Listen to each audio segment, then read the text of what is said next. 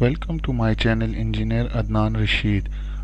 Dear friends, I have started a new series of lectures that is based on solving problems from mechanics of materials. I hope you will enjoy this video. So kindly watch, subscribe and like my videos. Thank you. Okay, let's start with problem 1.2. Uh, the statement of the problem is that two solid cylinders uh, cylinder rod AB and BC are welded together at B and loaded as shown. So this is rod AB and this is rod BC and they are welded together at this point B. This is shown in figure.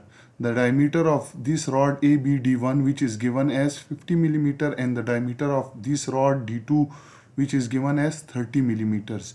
So here you will have to find the average normal uh, normal stresses at mid section of A rod AB and BC. So you have to find the average stress, normal stress, which is sigma AB over here and sigma BC over here.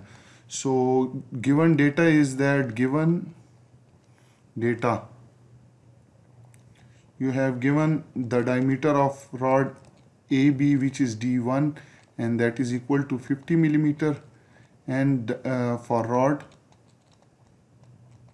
AB and similarly D2 which is the diameter of rod BC and that is 30 millimeter for rod BC you have to find the average normal stress at mid section of rod AB which is sigma AB and average normal stress at midsection of rod BC. So let's start with the solution of this problem.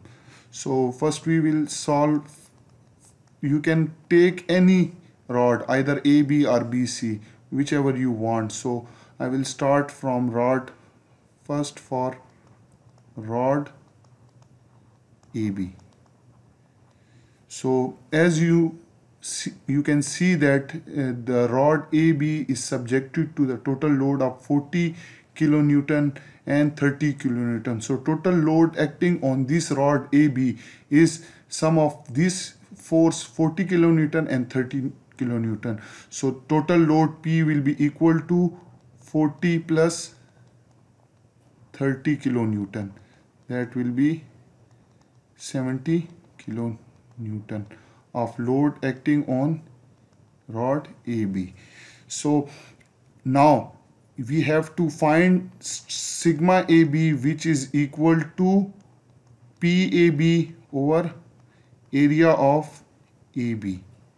So first we will have to find we have PAB and we have to find area of AB which is equal to pi by 4 d1 square and you if you put the value of d1 that is pi by 4 d1 is 50 mm so 50 square. That will give you 1.963 into 10 raised to power 3 minus uh, 10 raised to power 3 millimeter square.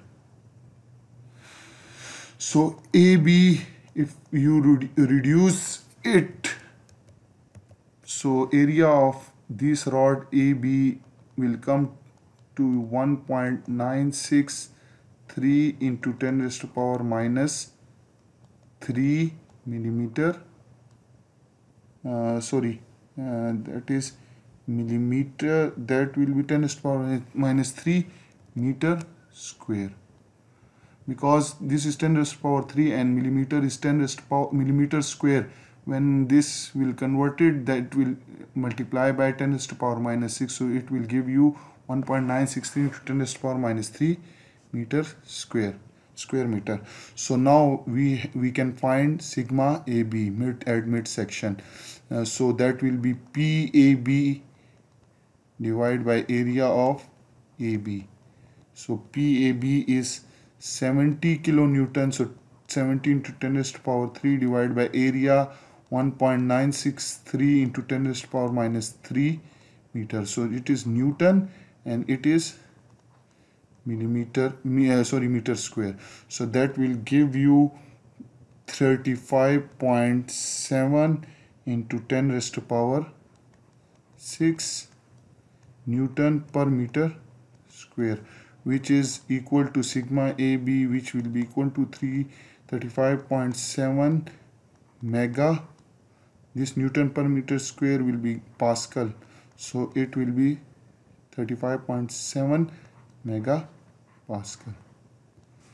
So now we will solve for for rod B which is part B. I think this is a part B and this is part A. So for rod BC we know that the the force that is acting on the rod BC is only 30 kilonewton. So here PBC which is equal to 30 kilonewton. And area of BC will be equal to pi by 4 d2 square. Now pi by 4 the area of BC is 30 millimeter. So it will be 30 squares. And it come out to be when you solve this this will give you 706.86 into 10 raised to power minus 3 square meter. Clear? Now this is very much simple. Now you have to find sigma bc which is equal to pbc over abc so pbc is 30 kilonewton which is 10 30 into 10 raised to power 3 newton. And area will be 706.86 into 10 raised to power minus 3 square meter.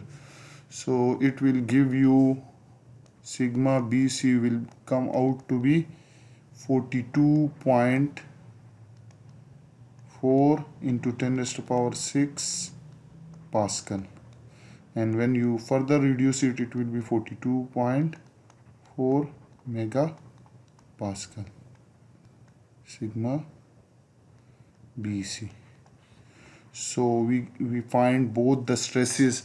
The result of the result is stress average stress in rod AB is 35.7 megapascal. According to the data and stress in midsection of BC is 42.4 megapascal. So we have find the solution of this problem.